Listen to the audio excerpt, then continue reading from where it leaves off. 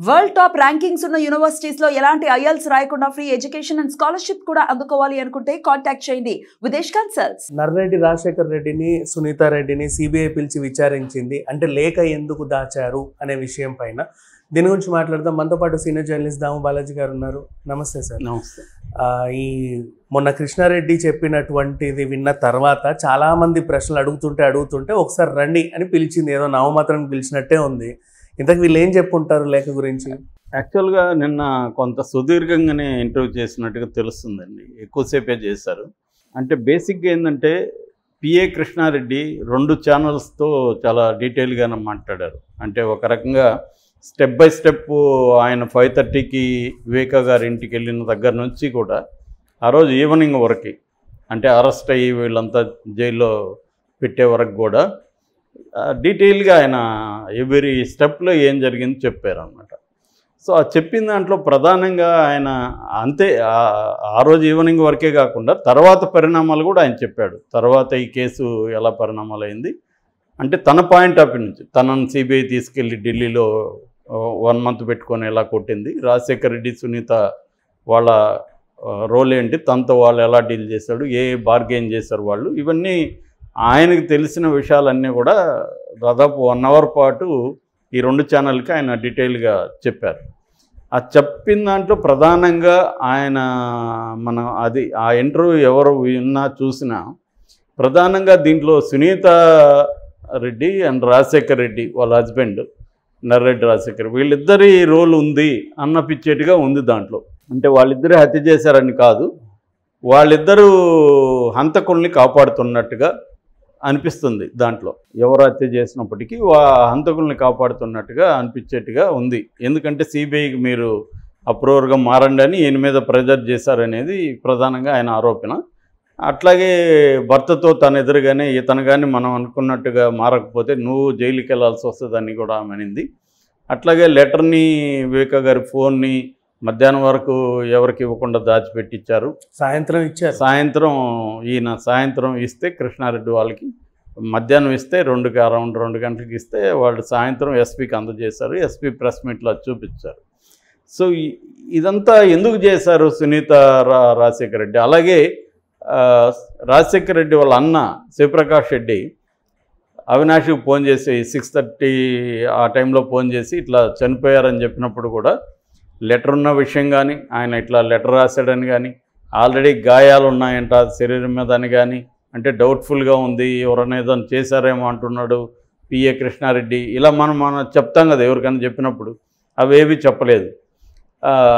So ఇదంతా ఎందుకు చెప్పలేదు? ఎందుకు దాచారు అసలు?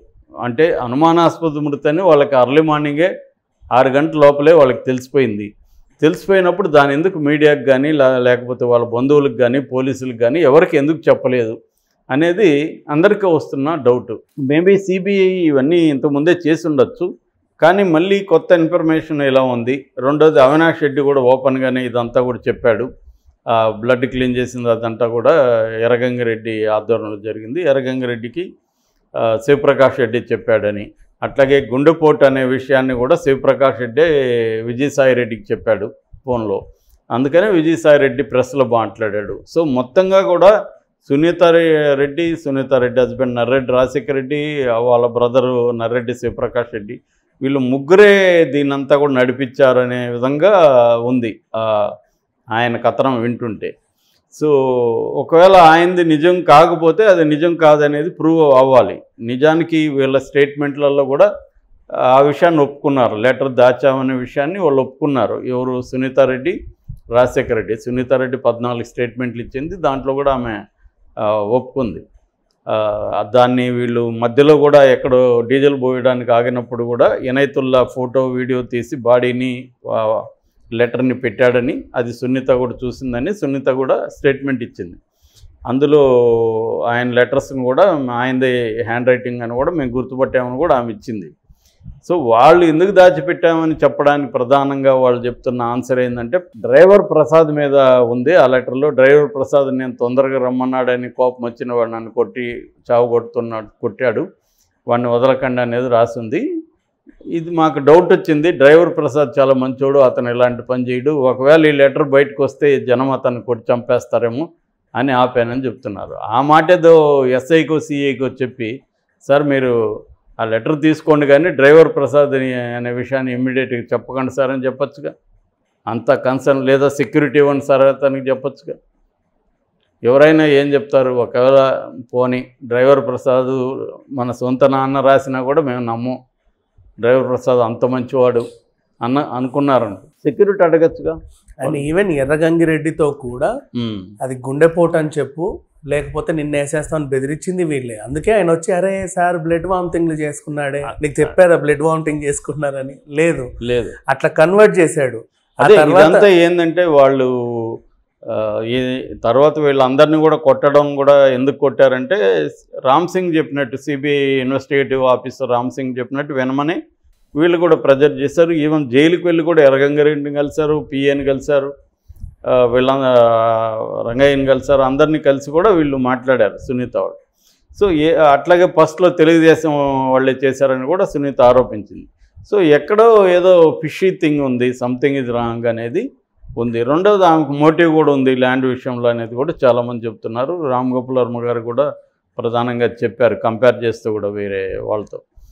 సో ఆమెకు మోటివ్ ఉంది. ఎందుకంటే ఆస్తే ఒకవేళ ఆమె షర్మిలా చెప్పినట్టు రాసి ఇచ్చేసి ఉన్నా కూడా మళ్ళీ ఆయన బతుకుంటే షమీం కొడుక్కి షాహన్షాకి మళ్ళీ రాసిస్తాడు. సో ఆయన ఉమెనైజర్ అని క్రియేట్ చేసి ఆమెను కూడా ఒక వేషలా చిత్రీకరించేశారు. అవును ఆమెకు కూడా ఎందుకంటే లేకపోతే కొడుకు పుట్టినా ఏం పుట్టినా మాకు సంబంధం లేదు ఎవరో అని మళ్ళీ దస్తగిరి చేత ఎవరికో పుట్టారని కూడా చెప్పించారు. చెప్పించారు. సో ఇదంతా చూసినప్పుడు ఇది వస్తుంది. సో సిబిఐ నిన్న ప్రధానంగా వెళ్ళి లెటర్ విషయం ఒకటి గట్టిగా అడిగినట్టు తెలుస్తుంది. లెటర్ ఎందుకు దాచారని మళ్ళీ ఆల్రెడీ పద్నాలుగు స్టేట్మెంట్ ఇచ్చింది. మళ్ళీ అడిగినట్టు తెలుస్తుంది. ఈ పదిహేనోది? అంతే. ఇంకో కొత్త కొత్త కథ ఉంటుంది దీంట్లో. సో అదే లెటర్ ఎందుకు దాచిపెట్టారని ప్రధానంగా అడగడం. రెండోది కృష్ణారెడ్డి మీకు ఎన్నిసార్లు ఫోన్ చేశాడు మార్నింగు? ఆ కాల్స్లో ఏ కాల్ ఏమేమి మాట్లాడాడు అనేది రెండో విషయం. ఈ రెండు విషయాలను ప్రధానంగా మాట్లాడినట్టుగా మనకు తెలుస్తుంది. సిబిఐ వీళ్ళతో చర్చించినట్టుగా. సునీత అండ్ నర్రాడు రాశికర్ మరి ఈయన శివప్రసాద్ రెడ్డిని ఎందుకు పిలవలేదు? శివప్రకాష్ రెడ్డిని ఇప్పుడు నిన్నైతే పిలవలేదు. వీళ్ళిద్దరిని మెయిన్గా పిలిచారు. ఎందుకంటే వీళ్ళు ఆయన కథ చెప్తాడో విందామనే వీళ్ళు మెయిన్గా వీళ్ళిద్దరే డిసైడింగ్ ఫ్యాక్టర్ అనేది అక్కడ ఉన్న ఇదనమాట సో మరి చూడాలి. ఎందుకంటే మనకు షమీం కూడా వీళ్ళ మీద ఆరోపణలు చేసింది. నన్ను సునీత బెదిరించింది. తర్వాత నెర్రెడ్డి రాజశేఖర రెడ్డి మైండ్ గేమ్ ఆడాడు. నా తను కూడా చెప్పింది. అతను ఫిజికల్గా ఏం ఇది చేయడు కానీ మైండ్ గేమ్ ఆడతాడు అని చెప్పింది. అట్లాగే వాళ్ళ బ్రదర్ శివప్రకాష్ రెడ్డి మాత్రం చాలా గట్టిగానే బెదిరించాడు. నేను ఆయనకి భయపడే శవాన్ చూడడానికి కూడా రాలేదు అని కూడా ఆమె షమీం స్టేట్మెంట్ ఇచ్చింది. సో ఏదేమైనా వీళ్ళ వైపు నుంచి కొన్ని డౌట్ఫుల్ వ్యవహారాలు ఉన్నాయనేది సిబిఐ కూడా ప్రశ్నించినట్టుగా మనకు తెలుస్తుంది క్లారిఫికేషన్ కోసం.